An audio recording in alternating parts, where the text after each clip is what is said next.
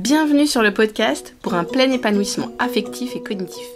Mon but, c'est d'interviewer des professeurs des écoles, des éducateurs Montessori, des créateurs d'écoles, enfin toutes les personnes qui cherchent à développer le plein potentiel des enfants. Parce que j'ai une mission dans la vie, c'est de changer le monde par l'éducation. Alors, c'est pas une petite mission, hein, je suis d'accord, mais en tout cas, j'essaye de faire ma part, avec mes ateliers Montessori, mes formations en ligne et en présentiel, et bien sûr le podcast. Donc au quotidien, j'aide les enfants à développer leur plein potentiel et j'accompagne les adultes pour qu'ils puissent mettre leur talent au service des enfants. Pour ce 30e podcast, nous allons parler de musique avec Michael Johnson. c'est un éducateur Montessori euh, et pour que la barrière de la langue ne soit pas un problème, euh, j'ai demandé de l'aide à Caroline. Donc j'avais déjà fait un podcast avec Caroline, hein, Caroline Dallot, vous pourrez le réécouter euh, voilà, à l'occasion. Et Caroline a eu la gentillesse de, traduire pour que Michael me comprenne, même si des fois voilà, il, comprenait ma question. Mais surtout, elle a traduit les réponses de Michael pour que vous puissiez vraiment comprendre à 100%. Donc euh, voilà, c'était vraiment un, podcast super riche et hum, il y a eu un, point commun avec le podcast que j'ai fait avec euh, Carole. Euh, je vous dis rien pour l'instant, mais je pense que vous allez tout de suite, si vous avez écouté le, podcast avec Carole, vous allez tout de suite voilà saisir ce, enfin trouver ce point commun. Je laisse place à ma conversation avec Michael et Caroline. Je suis ravie de vous accueillir tous les deux sur le podcast aujourd'hui. Donc euh, Michael et Caroline qui va voilà, nous aider euh, à traduire. Donc merci beaucoup Caroline. Euh, Michael, tu es éducateur Montessori et tu viens juste de publier un livre sur la musique, Making Music in Montessori. Yes, that's true. Oh, sorry. I understood that bit. I understood that bit, but go ahead. Est-ce que, dès, est-ce que dès tes premières années en tant qu'éducateur, tu as accordé beaucoup d'importance à la musique? Did you pay much attention about music since the beginning? You were a guide. Um, yes, from the well. First, let me say thank you for having me. It's a pleasure to to be talking with you. Second, to answer your question, yes. Uh, from the very beginning, I, have had an emphasis on music because I trained um, to be a music educator um, in the public schools before I went into Montessori. Donc tout d'abord, bah, il, tient à, nous remercier euh, d'être là, surtout toi Céline. Euh, c'est avec plaisir qu'il a accepté ton invitation. Donc pour répondre à ta question, euh, effectivement, depuis le début, il a vraiment mis l'accent sur la musique. déjà parce qu'il était formé pour être un professeur de musique dans le secteur public. And also, I, when I, from the beginning, of working in a Montessori school and observing in Montessori schools around the local area where I was living, I noticed there was a lack of music being done in, in classrooms. So I was interested in, you know, in, in getting music going. Depuis qu'il est, qu'il est guide, euh, qu'il est éducateur élémentaire, euh, il a beaucoup observé et puis il s'est rendu compte qu'il euh, y avait un manque, il y avait très peu de musique dans les environnements euh, Montessori et donc son intérêt s'est porté justement à l'introduction de la musique euh, dans les classes civiles. Les trois civiles. Et Michael, peux-tu nous raconter comment ça se passe dans ta classe pour qu'on puisse s'imaginer, voilà, si on ferme les yeux et qu'on on, t'écoute et qu'on puisse euh, s'imaginer dans ta classe?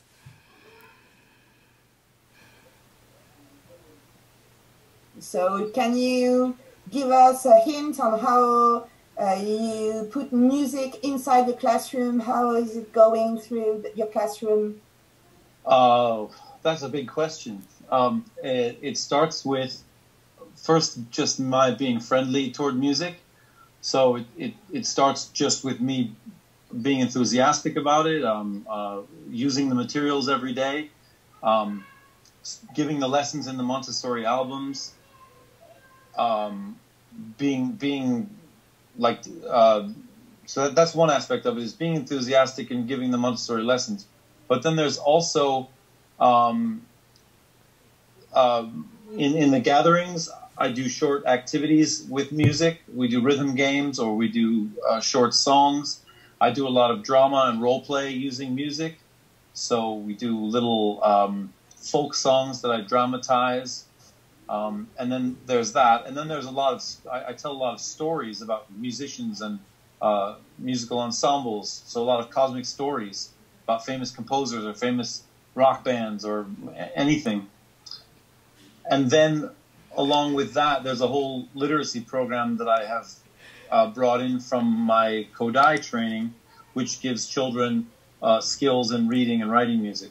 So all of those four things come together to um, you know to keep music going all the time. And, and, and finally, sorry, one more thing. I know, I know, I know. You're writing this down, right? Um, and sorry. Finally, there is um, a tolerance for music. I, I think a lot of a lot of times people think a classroom should be a quiet place, and um, there's a little bit of noise that we can allow and, and be comfortable with. And I think um, I have maybe a higher threshold than most for what constitutes comfortable, productive noise in the classroom. Alors, grande question. Hein. Ah, désolé, désolé, désolé. It's okay. Ça, c'est long pour notre traduction. Yeah, okay. Yeah, I take notes. Donc, d'abord, bon, bah, euh, cette question, c'est euh, euh, comment est-ce qu'on introduit la musique, comment on la fait vivre dans la classe? Euh, Pour Michael, c'est d'abord une attitude de l'adulte par rapport à la musique. Voilà, montrer son enthousiasme, euh, euh, utiliser le matériel régulièrement, tous les jours, euh, proposer les leçons qui sont dans nos albums régulièrement. Et puis, bah, quand on est enthousiaste, qu'on aime la musique, eh bien, par exemple, pour Michael, lors des regroupements, il va proposer des, activités à chaque regroupement, des, jeux de rythme, des chansons, euh, des jeux de rôle où il va intégrer la musique. Et puis l'autre euh, axe, c'est euh, qu'il va raconter beaucoup d'histoires sur les musiciens, les compositeurs, mais aussi les instruments. Et ça part des compositeurs classiques jusqu'à des groupes de rock. Enfin, toutes les musiques sont bonnes et toutes les histoires valent la peine d'être racontées. Et puis, d'autre part, Michael est formé à la méthode Kodelai et euh, il l'a intégré dans son curriculum de, de, mathématiques, de mathématiques, pardon, de musique. Donc, Kodelai a été intégré et ça lui permet vraiment d'enrichir la présentation.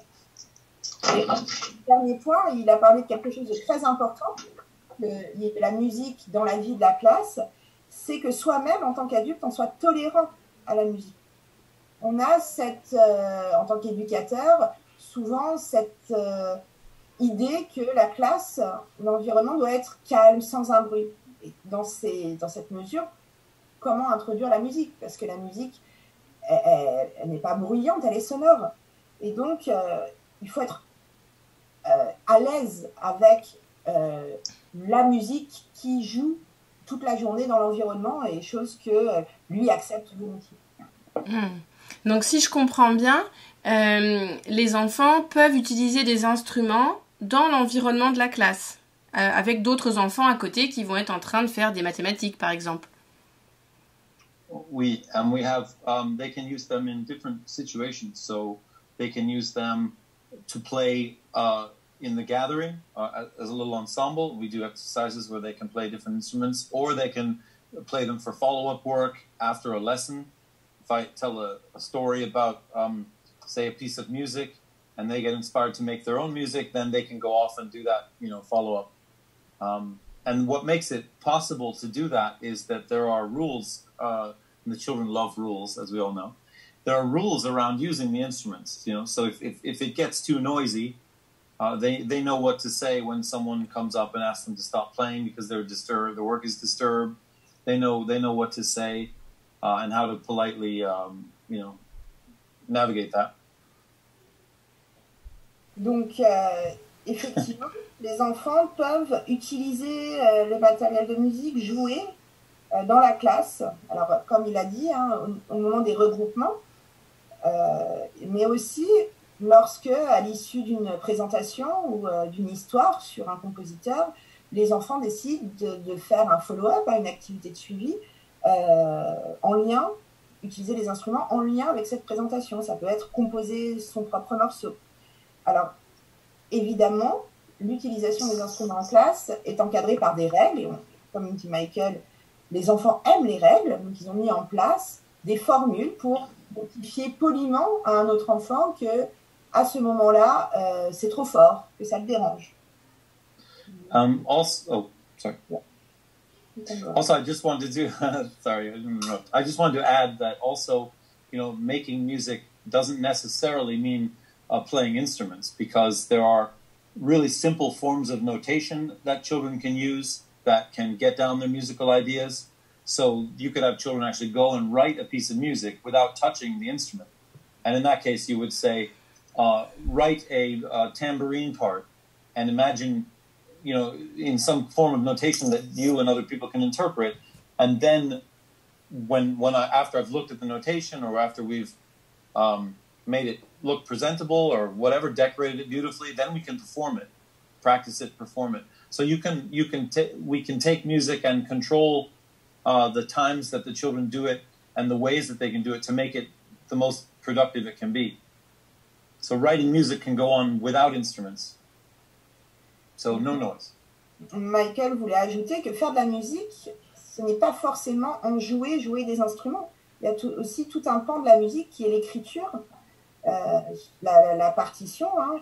Donc euh, régulièrement, les enfants vont être euh, orienté vers une écriture sur partition pour qu'un autre enfant, par exemple, puisse l'interpréter.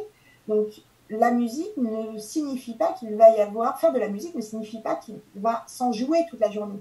Il donne l'exemple, par exemple, euh, bah, d'une composition réalisée par des enfants et il faut que la partition elle soit terminée, décorée, jolie, avant qu'un autre enfant euh, euh, aille l'interpréter.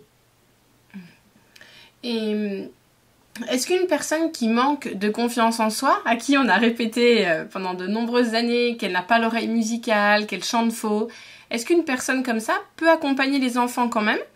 Ou vaut-il mieux trouver une autre personne euh, compétente? Um, I, got, I got most of that.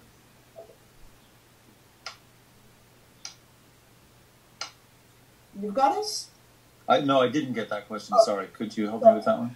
The question was, uh, as an adult, is it better for someone who lack of self-confidence in his uh, music skills to delegate music to some other people, or can these adults uh, introduce music in the classroom?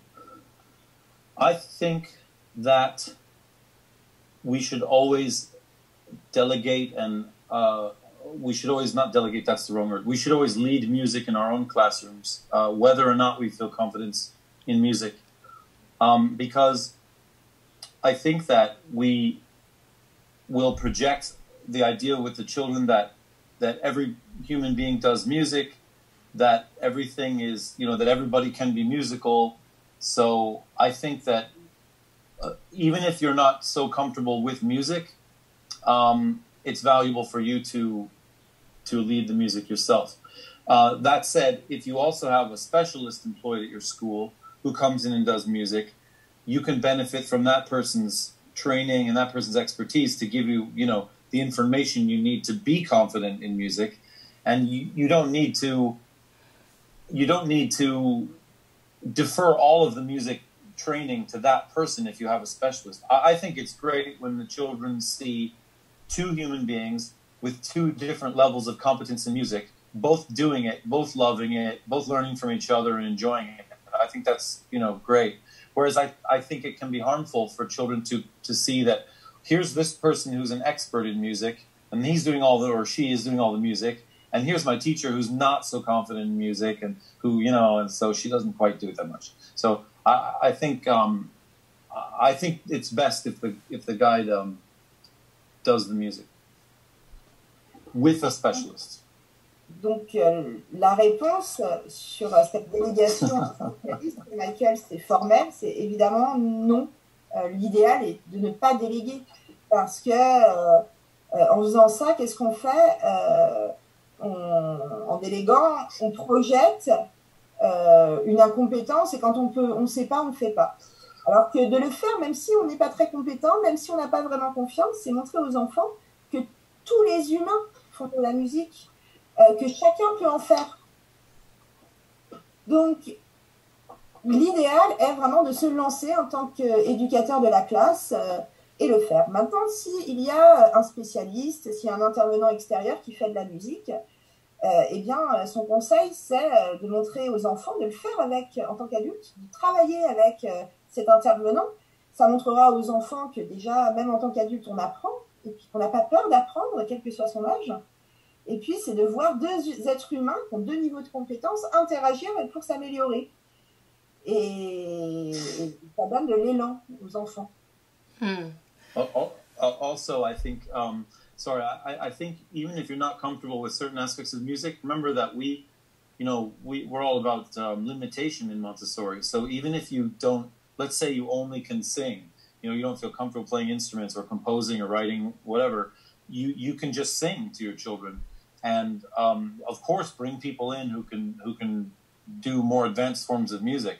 But something i think the, the worst thing a guide can do is say oh i'm not musically competent or oh i don't know anything about music or things like that. I, I think um, at least find some way into music. That could that could even be just giving the montessori lessons.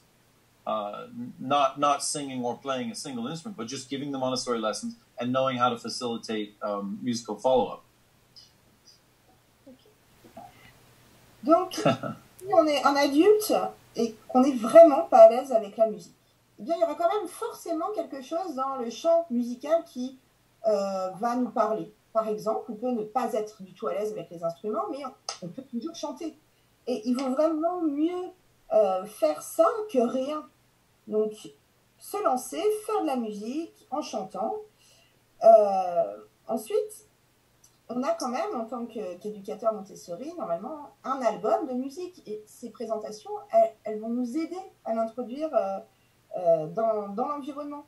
Donc, ne pas hésiter à se lancer, les faire. Et même si euh, c'est pas parfait, on le fait et on, apprend. Mais se bloquer, s'interdire de le faire, ça serait la pire des choses. Hmm. C'est marrant parce que j'ai échangé avec une éducatrice Montessori américaine la semaine dernière et elle, elle, est passionnée par l'art, euh, handwork. Euh, et elle disait la même chose, que c'était important, même si on ne savait pas euh, tricoter, coudre, faire de la broderie, de ne pas de, de, ne pas compter sur une personne extérieure, mais d'apprendre en fait. Donc c'est rigolo parce que c'est la même réponse. Mm-hmm. So she interviewed uh, someone uh, from New Zealand. I don't know if you know her, uh, Carol Palmer. And mm. she's working on uh, handwork and she was saying the same thing that even if you don't know how, how to knit y- you can do it because you don't have to yeah. be an expert to do something. Right. That's right yeah. You just have to be enthusiastic about it and you have to know enough about it to get them excited to do it. And then from there um, they can you know there's so many possibilities. Uh, for example uh, just to give one example um, let's say you if you don't know how to sing or you don't know how to play an instrument and you you could pick a specific piece of music that tells a story and you could have a child do you could suggest for follow-up that the child do something called a listening map which is where they just draw kind of a game board with little squares and the, and as the music progresses the child just moves his little piece to the next game board until they get to the end of the piece. So that doesn't involve any actual music making but it's it's a you know it's a way to conceptualize music, a way to listen actively to a piece of music. So so when we talk about music, we're really uh, talking about a broad set of skills. Donc euh, il est tout à fait d'accord avec cette remarque et euh, ce qu'il dit c'est qu'il faut avoir euh, un minimum de connaissances pour être enthousiaste. Il ne faut pas être un expert, mais évidemment il faut se former à minima et avoir de l'enthousiasme pour s'améliorer.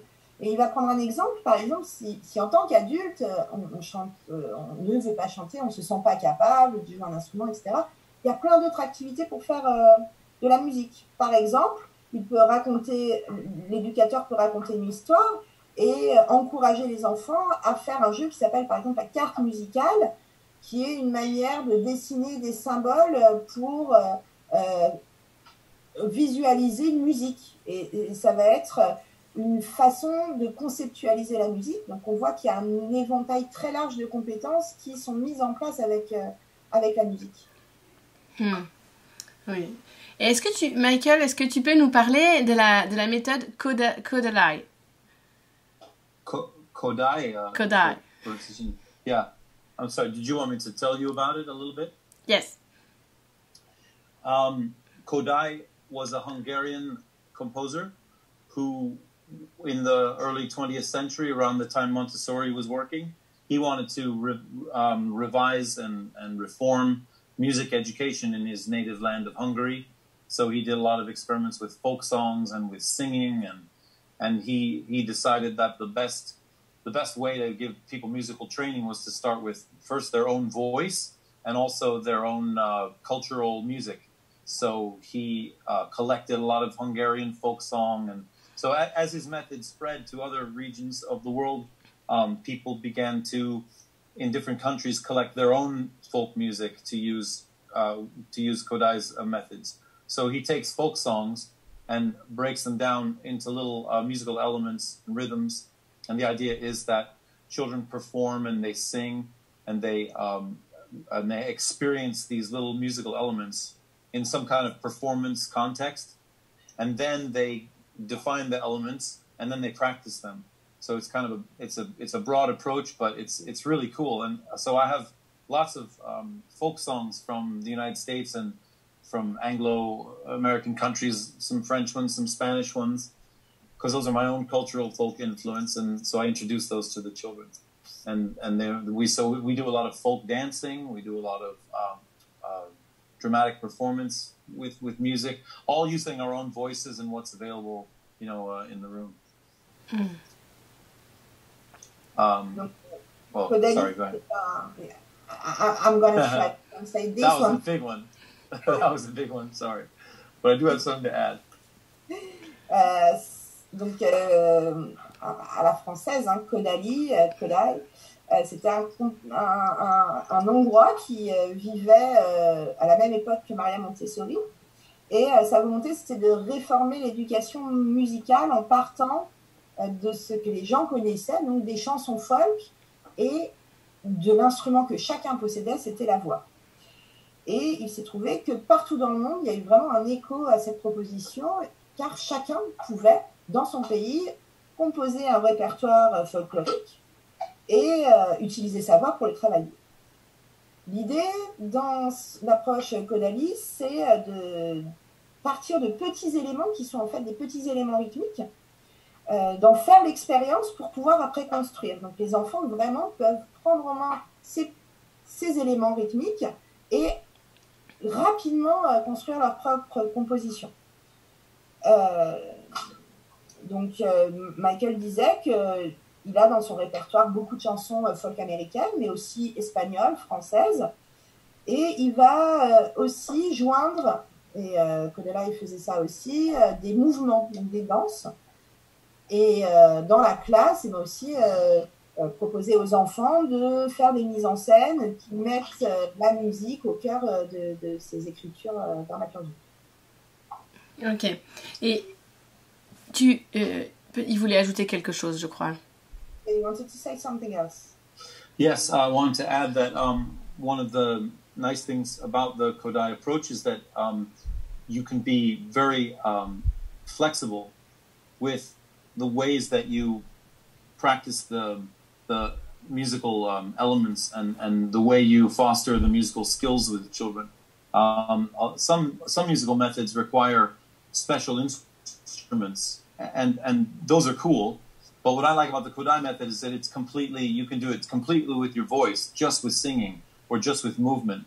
For example, I can, I can say, touch my head and ask the children to, you know, and, and give the children a note to sing when I touch my head, touch my shoulders and they can sing another note, touch my hips, they can sing another note. And then we can write little melodies. They can, we can read and write little melodies just by, you know, with our voices and, and our body movements. Um, and that gives them a really well-rounded um, approach to the well it gives them a well-rounded experience with the, with that musical skill. Donc la chose qu'il voulait uh -huh. ajouter à propos de l'approche euh, Kodali, c'est euh, la flexibilité que ça apporte. C'est-à-dire qu'il suffit de la voix finalement et de son corps. Et donc, euh, on va pouvoir proposer aux enfants de développer leurs compétences musicales avec ces deux médiums. Donc la voix, le mouvement, par exemple, on va dire, bah, il y a le corps. Quand je vais toucher ton épaule, on va faire cette note-là, ta tête, cette note-là. Donc c'est vraiment dans le jeu, dans le mouvement, et rapidement, les compétences vont se développer. Hmm. Et j'aurais aimé savoir si tu connais euh, la méthode Dalcroze. Euh, Jacques Dalcroze. Ah. Euh, peux-tu peux-tu nous en parler? I know very, I know just a little bit about the Dalcroze uh, method, uh, and it, it also has to do with movement. And um, yeah, it's very lovely. It's similar to um, the walking on the line from from Montessori in the primary. And I, I think uh, it's I, know that the teacher plays a lot of piano in the Dalcroze method, but I, I'm not sure if they can use other instruments. But I just know it involves a lot of movement, and um, so that's about all I know. Donc il, il, connaît, mais pas très bien. Ce qu'il sait, c'est que euh, c'est euh, une méthode qui aussi implique euh, le corps, le mouvement, et qui est assez similaire aux activités de l'ellipse, hein, de marcher sur la ligne. Mais il n'en sait pas beaucoup plus. Mm. I think the I, I think the difference, uh, the main difference with the Kodai method is that the, the focus is on musical literacy. So the focus is on children being able to read and write music fluently, like they would their own language. So the movement and the instruments and and the all of the activities that we do are all in service of getting children to be able to um, look at a little score and sing it, or look at a, a rhythm and, and play it on an instrument. Donc la différence, la plus grande différence avec euh, Kodali, c'est finalement que le but de cette méthode en Kodali, c'est euh, d'obtenir euh, une, euh, une, une, culture musicale, euh, d'être capable d'écrire de la musique, de la lire, alors que euh, Dalcroze, ça serait plus dans le mouvement pour le mouvement. Hmm. Je, je connais. I don't know whether. Oh, I don't know whether that's true of Dalcroze or not, so uh, I can't speak to that. If it's really a difference, I just wanted to highlight that aspect of Kodai. Donc il n'est pas sûr que ce soit vraiment, enfin il, est pas, il ne connaît pas suffisamment pour dire, euh, pour parler de Dalcroze, mais en tout cas il connaît bien euh, Kodali. Hein, et le but de Kodali, c'est par le mouvement, par la voix, d'avoir cette culture musicale qui permette aussi d'écrire, de composer, de lire. Hmm. J'ai découvert euh, la méthode d'Alcroze il y a quelques années. Et quand j'ai découvert ah. cette méthode, j'ai tout de suite trouvé qu'il y avait des similitudes avec Montessori puisqu'on passe par le corps. Et, et donc euh, avec ma prof de musique, euh, il y avait un jeu que j'adorais où euh, en fait il y a des cerceaux sur le sol et les pieds font les notes noires et les mains doivent taper le rythme. Donc on a des cartes posées à côté des cerceaux et on marche comme avec des noirs, mais les mains font le rythme. Et j'adore, ce... ah. je trouve que ça fait vraiment travailler le cerveau. Yeah, that's that's very cool. Yeah, that's uh, that would be a similar that would be a similar um, like I might use an exercise like that in in doing music as well uh, as a way of um, practicing or uh, preparing them for uh, what did you call them noir les noirs les noirs yeah in in the Kodai we call them ta So I would prepare the children with wow, wow, wow, wow. You know, I'd prepare that rhythm uh, by doing an exercise like that, and that would, you know, and we'd spend a long time doing little exercises like that. Mm. Uh, so that sounds cool. I'd like to. I'm to look into that now. I'm learning something new. Explique. Euh, euh, oui, je trouve ça super. Et d'ailleurs, euh, bon, il connaît pas Dalcroze, mais finalement, dans ce qu'il propose, euh, il, va y avoir, il va y avoir toute une phase préparatoire avec les enfants où il va faire des jeux comme ça. Alors, euh, c'est euh, Tita, voilà, un autre système d'appellation, mais il y a toute cette phase préparatoire qui va pouvoir permettre de travailler à la fois sur les noirs, les blanches, etc., par des jeux et par le corps. Hmm. Et sur ton blog, j'avais lu trop vite la première fois et j'avais lu Comic Stories. Alors qu'en fait, c'est Cosmic Stories. Cosmic Stories, oh. Et pour les auditeurs qui ne connaissent pas l'éducation cosmique, est-ce que tu pourrais expliquer euh, ce que c'est ce déjà l'éducation cosmique et pourquoi c'est important de faire découvrir aux enfants des musiciens célèbres, des, des styles de musique différents? Okay, uh, please, Caroline, help me. I got most of that, but I just want to be sure. Um, Thank you. he, she uh, read on your website that you had uh, written some cosmic stories. Could you explain the uh, interest of doing such things and to read them, to tell them to the children? Sure, but but first, did she say there was a typo on the website and said comic stories? No, she, she, she misread. Oh, she misread it. Oh, okay. I was like, oh no, I gotta go fix that. Um, okay. So, uh, why, why are cosmic stories important? Is the basic question. Yeah. Yeah. Um, well, because they get the children, they provide um, the big picture that the children can then find little um, connections in. So that's one reason. The other reason is that they get the children's imagination going. Um, and the third reason is that they inspire them. Um, I uh, even I told a story the other day about the composer um, Olivier Messiaen, who uh, was in a prison camp for a long time. He he was uh, was trapped in a German prison camp during World War II, and he one of the guards allowed him to compose his music, and then he he held a big performance of this piece of music with all the prison guards in the middle of winter and all of the prisoners. And when children hear stories like that, they get really um, they get really excited about about their own their own possibilities, doing their own music. But also, there's a lot of compassion in that story. There's a lot of it appeals to their sense of hero worship. Um, I think it inspires them because they they start to understand that music is something that's um, not not made out of magic. You know, a lot of people often think music is a gift or a talent or something like that, but but that music is something that's that's real and can be learned and can be understood and can be used in, in a way to you know foster peace and um, and help out humanity. So I think that the cosmic stories are a really good way to get children's imagination going and to get children feeling good about, or not good about, but feeling inspired. Uh, and, and, after I told that story for the very first time, uh, some children, there were maybe 10 children in my class who wanted to get together and make a big musical composition with dance, with different instruments, with, uh, so it was quite a exciting launching point for them. So those are, I think those are four reasons I mentioned why cosmic stories are important.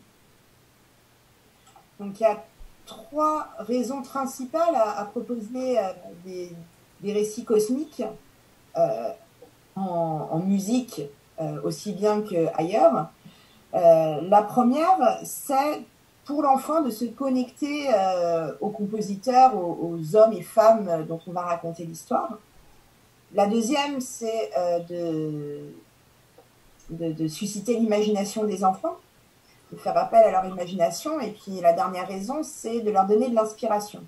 Alors il a pris l'exemple d'Olivier Messiaen, euh, qui était prisonnier dans un camp de concentration pendant la Deuxième Guerre mondiale. Et euh, c'est toute une histoire. Et à la fin, euh, il est emprisonné, mais il arrive à euh, proposer un concert qui réunit aussi bien les prisonniers que les gardes, que les geôliers. Et c'est un moment hors du temps qui s'est passé. Et c'est vraiment une histoire qui enthousiasme les enfants. Euh, ça fait appel à, leur compassion et puis aussi à leur culte du héros, hein, qui est si important euh, euh, en 6-12. Ça leur montre aussi que la musique, c'est pas quelque chose de magique, c'est quelque chose de réel, quelque chose qu'on peut apprendre et puis après qu'on peut utiliser et qui peut aider l'humanité. Et il se rappelait la première fois qu'il avait raconté cette histoire à des enfants, ils étaient une dizaine.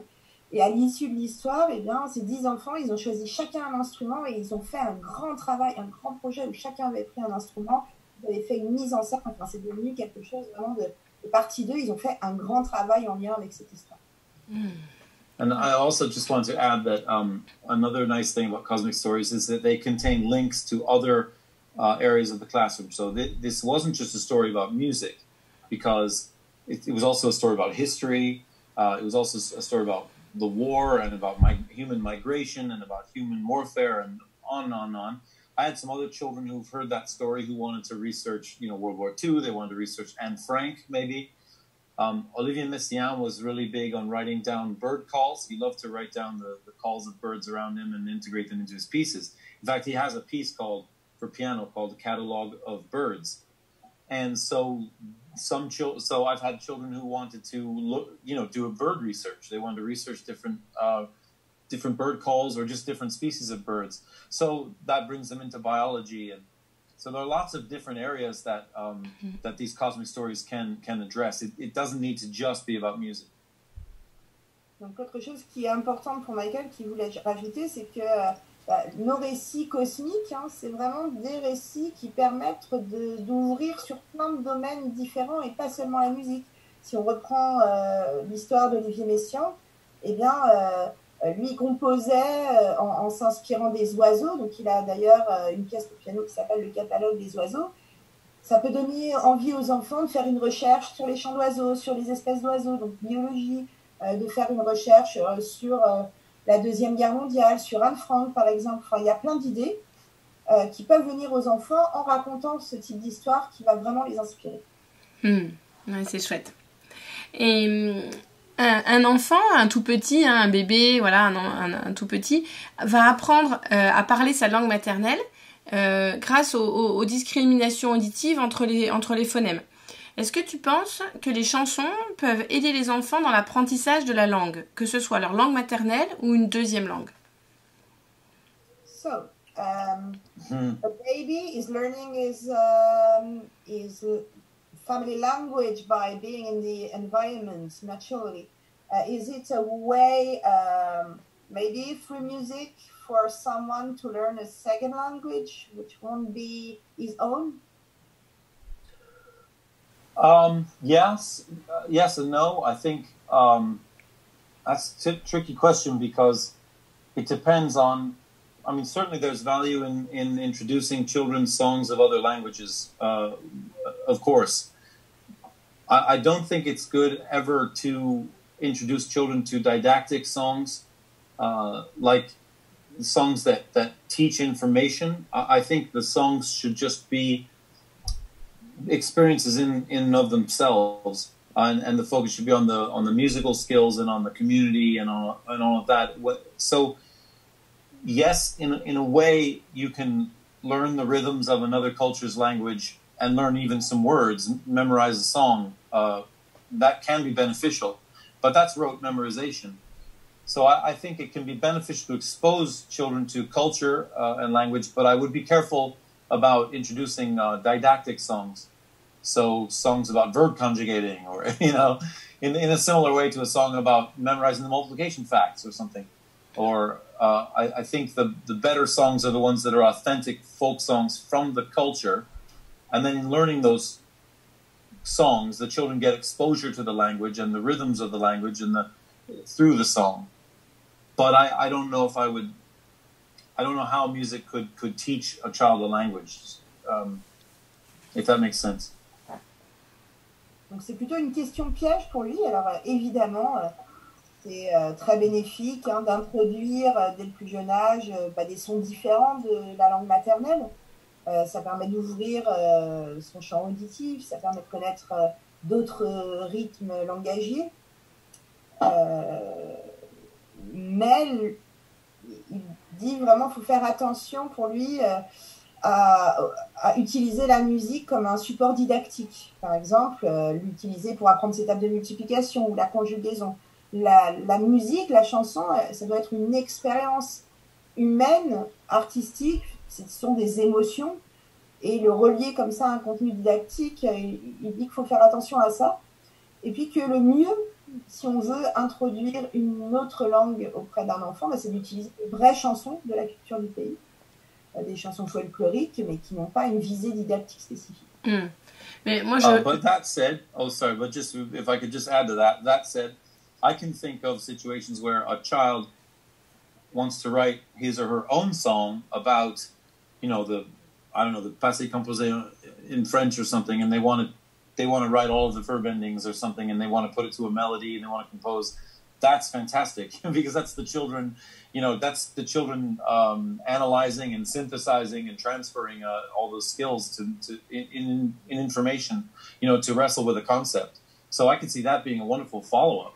Or even uh, I had a child one time who did the um, grammar box symbols, assigned each grammar box symbol a note, and then made like a musical composition off the grammar box symbols. So that's a way of repeating, you know, the parts of speech in English and, and things like that. So, so I could see how music definitely has a valuable uh, role in, in helping learn another language, definitely. Somebody would have to do. Oh. Sorry. I thought you No, go ahead. go ahead. Donc, il voulait juste revenir sur le fait que si un enfant, pour un follow-up, une activité euh, de, de français, il a étudié le passé composé, par exemple, et il décide de mettre en musique, alors là, c'est fantastique parce que ça vient de l'enfant. Il dit qu'il faut faire attention à l'inverse, c'est-à-dire qu'en tant qu'adulte, on va mettre la musique euh, au service d'un contenu pédagogique, enfin didactique. Maintenant, euh, il a un autre exemple super, c'est euh, des enfants qui avaient décidé d'utiliser les symboles de la nature des mots et ils avaient transformés euh, chaque symbole en une note. Avec une phrase, ça faisait une mélodie. Donc ça, c'est formidable. Ça, fait preuve vraiment, ça montre la créativité de l'enfant et ça montre la force de la musique qui peut être utilisée par. Hmm, D'accord. Et, et la dernière question que j'aimerais te poser, Michael, euh, alors moi je m'intéresse beaucoup à l'apprentissage des langues. Euh, j'ai comme objectif de parler couramment anglais dans un an. Et, Oui. et j'ai fait un, sur mon autre podcast, j'ai fait un podcast avec Susanna, une polyglotte, et elle a écrit un livre euh, en anglais, Language is Music. Et j'ai pris conscience de l'importance des sons quand on apprend une nouvelle langue. Et, et j'aimerais avoir un peu ton... euh, Quand je, quand, quand je te dis le titre, euh, à quoi ça te fait penser? Est-ce que tu es d'accord? Language is music. Est-ce que ça te parle? Est-ce que tu veux rebondir là-dessus? So Celine is uh, very interested in uh, how to learn languages, and uh, she she has the challenge uh, to to speak uh, fluently English uh, for, in, in a year. And so she interviewed uh, someone called Susanna, and she is a polyglot, and she wrote a book called Language is Music. And uh, she realized the importance of sounds when you are learning another language. yeah. Do you agree with that? Uh, and what do you feel when somebody says, when you read this title, Language is Music? Um, well, wow, uh, that's a big question. Uh, I I think that um, I, I would agree that language is music and that it has grammar and it has structure and it has um, it has meaning uh, that we assign to it. Um, and and so in terms of it, in terms of grammar, or excuse me, in terms of language being um, having rhythm and having sound uh, and a, and a grammar and syntax, I would say that it's it's music. I, I would go. Uh, I would. I don't know if I would say language is music necessarily because music. Um, the difference I think between music and language is that language adds this extra level of. Uh, I don't know exactly what the psychological term for it is, but language adds a an extra level in that there are different. Um, different words for the same concept in, in a language depending on the social group. So Spanish has one word, French has another word, English has another word for the same concept. In music, that doesn't really exist. I mean, if, if I were to go to uh, if I were to go to Spain and play them a blues song, uh, they would get the same kind of feeling from it than if I went to uh, uh, Germany or or anywhere. So I, if, if I played a sad song in in in Nigeria, uh, they would they would get the sentiment of it. Whereas if I spoke a sad poem, uh, they wouldn't understand it if they didn't speak my language. So I, I, I think that language is analogous to music in that it has syntax, it has sound, it has um, it has rhythm, but I don't think that it. But and, and as gra- yeah, but I don't think that it that the two are exactly the same. Um, I, I would say though that music is a language. I, I would I could be confident in saying music is a language because music, um, mu- music communicates a- across uh, cultures. It's pure sound. It's not sound with extra meaning added onto it, although it could be. But um, as far as using music to learn a language, that would be something I would love to look into and and I haven't heard of this book, but if you send me a link to it, I would like to look into it. I would love to uh, check it out. Oui, je, je pourrais te l'envoyer. Caroline Yeah. Alors, j'y vais. Yeah. Euh, Excusez-moi. Donc oui, en fait, il est d'accord sur le fait qu'il y a une similitude entre la musique et le langage. Il y a une structure, il y a une syntaxe, il y a du sens, il y a du rythme, il y a des sons. Ça, c'est commun entre la musique et, et, et- et une langue.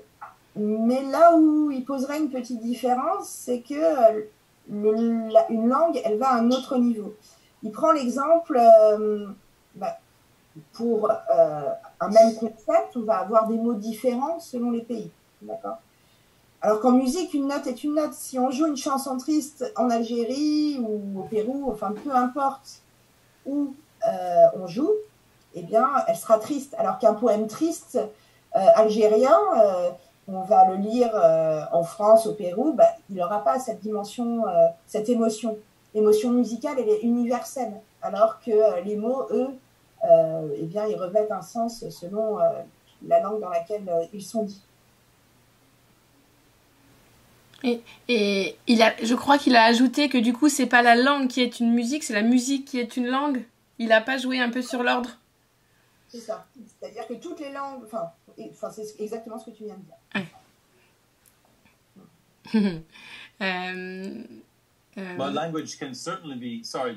Language can certainly be used to help.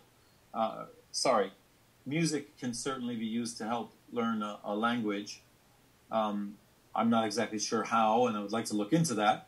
Um, but also, I think that music can help us get insight into a, a, a culture uh, and a culture's language and a culture's emotions. In some in some cultures, for example, even the music has different codes. Like in in Russian um, music, a lot of the music is very upbeat and very exciting and fun and joyful, but it's in really minor keys. And and minor keys are what in in uh, you know European music is often associated with sadness and and dark feelings. So so music can um, doesn't necessarily mean the same things to all people, but at least you can understand a song when you listen to just a pure piece of music. You can at least understand it. Whereas if you hear just a block of text from somebody talking in a different language, you know you're stuck with just the sound and the rhythm. You don't quite know what the meaning, what meaning is coming out of it. You know, so that so that's I think that's a subtle difference, but it's just the difference. I the first thing I thought of when you asked the question. Donc, euh, c'est la première chose qu'il a répondu. Mais effectivement, après en musique, on va avoir des situations, par exemple, comme en Russie, des, choses, des chansons très joyeuses euh, qui vont être très rythmées, tout ça. Mais euh, par contre, elles seront jouées euh, en gamme mineure. Et puis, la gamme mineure, dans notre culture occidentale, européenne, bah, c'est plutôt une gamme qui est utilisée pour des chansons tristes. Donc, évidemment, il y a aussi du culturel dans la musique. hein. Cet universalisme, il n'est pas absolument tout le temps. Voilà. Mais ce qui est sûr, c'est que entre des mots qu'on ne comprend pas et une musique, ben, il y, a, il y a une émotion qu'on va ressentir à l'écoute d'une musique, mais dont on ne pourra pas ressentir euh, l'émotion si on lit un texte dont on ne connaît pas la langue, en fait. hmm. Ah bah super, merci, merci beaucoup. Euh, Michael, est-ce que tu veux ajouter quelque chose avant qu'on termine l'interview? Uh, no, just uh, it was a pleasure to talk to you, and, and thank you very much uh, for having me, and uh, thank you to Caroline for translating. That was really nice, and uh, I hope you got all- your questions answered. And stay in touch. Oui. more. Merci beaucoup, Caroline. Merci. Et Victoria, merci je voulais beaucoup. ajouter quelque chose parce Merci. que j'ai eu la chance de traduire euh, Michael lors de deux workshops, et notamment lors d'une des formations à Amy à Archamps. Et, et, euh, ce qu'il apporte, alors euh, avec sa formation, avec son livre, c'est vraiment de se décomplexer. C'était ses premières questions. Et je crois que en tant qu'éducateur, il faut se lancer et c'est formidable. Et les pistes qu'il donne, enfin, ça aide vraiment dans la classe en tant que personne qui se sent pas forcément légitime pour enseigner entre guillemets alors qu'on n'enseigne pas, on apporte la musique, il faut vraiment le faire avec, comme il a dit, l'enthousiasme et cet enthousiasme, bah, grâce à lui, ça nous donne des clés pour, euh, pour l'apporter. Hmm. Je, je vais retourner en classe à la rentrée, alors juste une journée par semaine avec des enfants de 5 ans. Et euh, même si je ne me sens pas du tout confidente en musique, j'ai qu'une envie, c'est de lire, euh, lire ton livre et de, et de me lancer. si tu fais traduire. well, I'll let you know when it's when it comes out. It's on the way. It's on the way. I got delayed by the virus. It was supposed to be out in April, but it got delayed. So. Ah, ça a été repoussé à cause Yeah. du virus? Yeah, it was. Yeah, it was. The release date was originally April fifteenth, and then the virus happened, and now it's. I'm not sure when it's coming out. So Ah, we will. Know, I'll know. I'll, I'll let you know. I'll keep you on the. If I can have you on the mailing list, uh, if got permission to do that.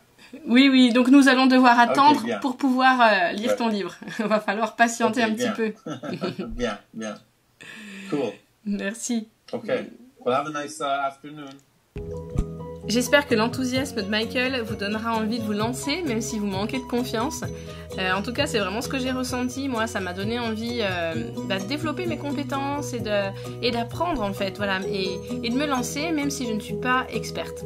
Donc euh, merci encore à Caroline pour avoir- d'avoir traduit. Euh, C'était vraiment très généreux de sa part. Et pour soutenir le podcast, comme d'habitude, n'oubliez pas de laisser un petit commentaire, de partager, euh, de partager autour de vous. Et si vous écoutez avec Apple Podcast, euh, de cliquer sur les étoiles. Voilà, ça va soutenir le podcast, ça pourra vraiment euh, être chouette. Et je vous dis à vendredi prochain.